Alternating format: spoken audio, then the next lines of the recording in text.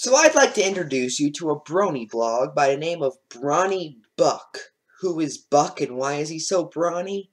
I have no clue. I know he's a brony, however, because his name is Brony Debates up here. As you can see, he made a post about Lily Peet, and may I just say, this is the funniest image I've seen in years. I mean, like, mm,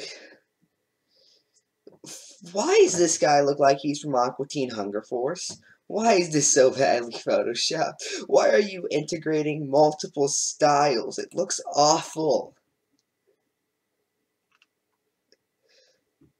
You know, it's just... But anyway, I was originally going to do a full video, a video on the full post itself. But there really isn't much to talk about until we get to the bottom where we see a little look at Brawny Buck's psyche. You see, because Brawny Buck is a complete eh, should I say moron or jerk or he's really annoying. He decides to continue to refer to Lily Peet as Jerry because God dang it, if someone changes their YouTube name for a reason other than they want to, especially if it could if it's because of transgender reasons, then I have to hate it. And when I was looking through this, you might have a little link here. Well, I clicked on this link, this is to a video by Black Pigeon Speaks. Black Pigeon Speaks.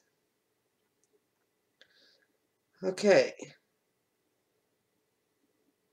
Let's ignore the fact that this video was proven wrong with the drunken peasants.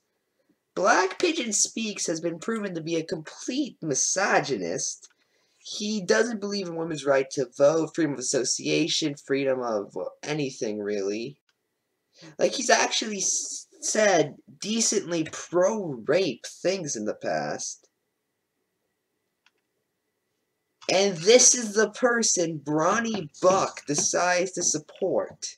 This is the person Brawny Buck is sitting there saying, Oh, yes, yeah, I'm gonna use this as proof. Take that, Lily Peet. I got Black Pigeon Speaks on my side. Why would you do that? Ever?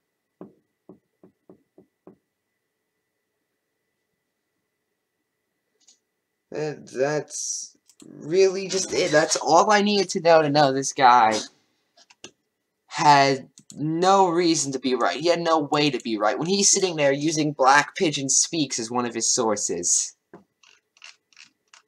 So that's like on Breitbart or Russia Today levels.